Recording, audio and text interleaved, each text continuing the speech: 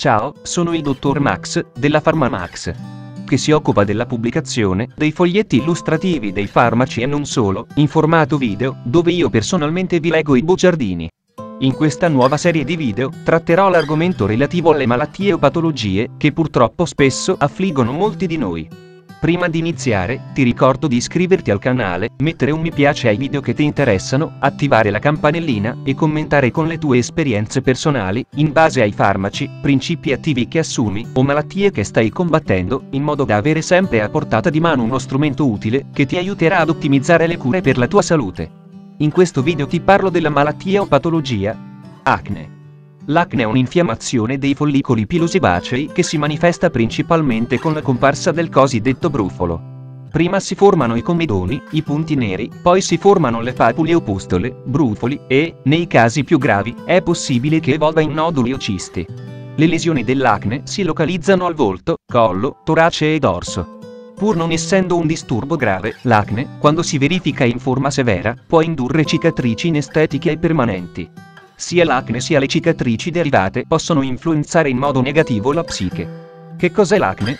L'acne si distingue principalmente in acne giovanile o adolescenziale e in acne tarda o tardiva, cioè post-adolescenziale o dell'adulto. L'acne giovanile, che compare al momento dello sviluppo sessuale, può guarire dopo questo periodo o perdurare nell'adulto. L'acne tarda o tardiva compare nell'adulto anche senza aver sofferto di acne giovanile. Dal punto di vista clinico, si parla di acne comedonica, cistica, conglobata eccetera, a seconda che prevalgano comedoni, cisti eccetera. Quali sono le cause dell'acne?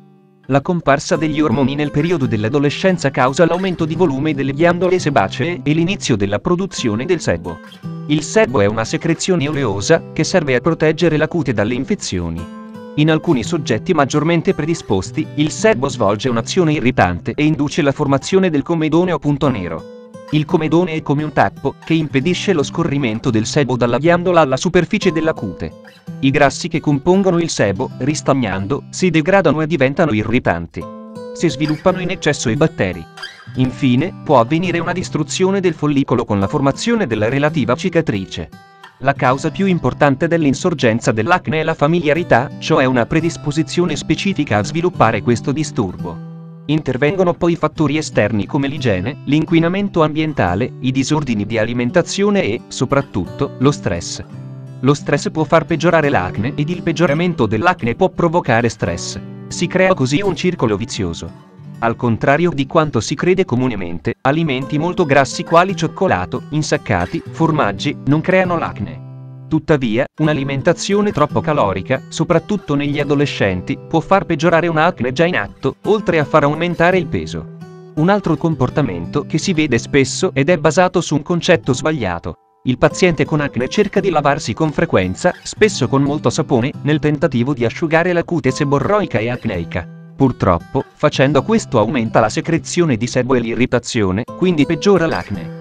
Quando si ha l'acne occorre lavarsi poco, non strofinare ed utilizzare poco sapone. Nei casi con molta infiammazione, poi, il sapone va sostituito con una crema da lavaggio. Infine, lo schiacciamento dei punti neri o dei foruncoli provoca una diffusione dell'infiammazione, quindi aumenta la possibilità di formazione di cicatrici. Anche la pulizia del volto dall'estetista, che tenta di togliere i punti neri, è da evitare per gli stessi motivi. Quali sono i sintomi dell'acne? La comparsa di comedoni o punti neri, di foruncoli, di cisti rinoduli su viso, collo, petto e schiena. Normalmente, non si tratta di una patologia grave ma, nei casi più seri, per evitare la comparsa di cicatrici e segni permanenti, è bene rivolgersi ad uno specialista di dermatologia. Diagnosi. La diagnosi è di tipo clinico ed al dermatologo spetta individuare le concause e indagare sui comportamenti sbagliati, al fine poi di consigliare il trattamento più adatto alle esigenze del singolo paziente.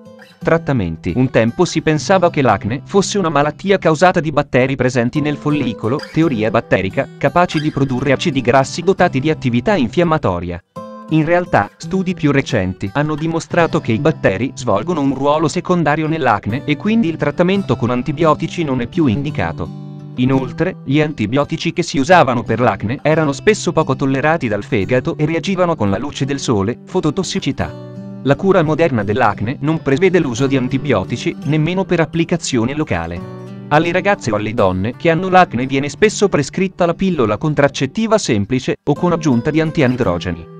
Questo comportamento terapeutico deriva dalla falsa premessa che l'acne sia causata da una disfunzione degli ormoni sessuali. In realtà, le adolescenti o le donne con acne non hanno affatto disfunzioni ormonali. L'impiego della pillola contraccettiva per la cura dell'acne, oltre a non produrre un significativo miglioramento, espone ai rischi dell'uso di estrogeni e antiandrogeni, fra i quali vi sono aumento di peso, comparsa di cellulite, ipertensione, alterazioni del fegato, pericolo di trombosi. Per questi motivi, non si dovrebbe usare la pillola anticoncezionale nella cura dell'acne femminile. Viene definita come pillola antiacne una pillola a base di acido retinoico, un derivato della vitamina A, che agisce impedendo la formazione dei comedoni e delle cisti che sono alla base dello sviluppo dell'acne. L'acido retinoico è quindi un trattamento specifico ed efficace, che ha tuttavia molti effetti collaterali. Tra i più comuni, secchezza cutanea degli occhi, mal di testa, aumento del colesterolo, calcificazioni e depressione psichica. Inoltre, questo farmaco, in caso di gravidanza, può indurre gravi malformazioni fetali. Per questo, l'impiego di acido retinoico per via orale è circoscritto ad alcuni casi particolari. L'acido retinoico funziona anche se applicato direttamente sulla cute acneica, evitando così i problemi di tossicità del farmaco assunto per bocca. Tuttavia, data la sua potente attività, si applica, di solito, una sola volta alla settimana e va integrato con il micropeeling. Il micropeeling consiste nel frizionare le zone interessate dall'acne con la lozione glicoalcolica composta da acido glicoloico e acido salicilico a bassa concentrazione. Questa lozione disinfetta e aumenta l'azione desquamante, liberando i follicoli dai comedoni e quindi, nel tempo, spegnendo l'acne. Poiché la tecnica del micropeeling non comporta l'uso di farmaci, il trattamento può essere fatto da tutti e protratto anche per anni, cioè fino a che l'acne non regredisce spontaneamente. In accoppata con il micropeeling, nei casi più seri, funziona bene la terapia fotodinamica, una moderna forma di trattamento mediante la luce, utile per ridurre l'infiammazione nelle forme maggiormente infiammate e permettere di continuare con il micropeeling. Prevenzione Se si è predisposti all'acne occorre Evitare di applicare creme sul volto, comprese quelle solari. Non utilizzare trucchi in crema come i fondotinta, ma trucchi minerali. Struccarsi con creme da lavaggio e non con latte detergente. Evitare di schiacciare i punti neri ed evitare la pulizia del volto. Evitare le forti esposizioni al sole e le lampade UV. Una volta che l'acne è scomparsa, è possibile continuare un trattamento micropeeling discontinuato per evitare che si formino nuovamente i foruncoli. Fonte Informazioni rilevate dal sito humanitas.it. Grazie per avermi seguito fino a qui, spero che la Pharmamax ti sia stata utile, iscriviti al canale e sarai informato sulla pubblicazione dei nuovi video. Buon proseguimento, ci vediamo alla prossima patologia esaminata.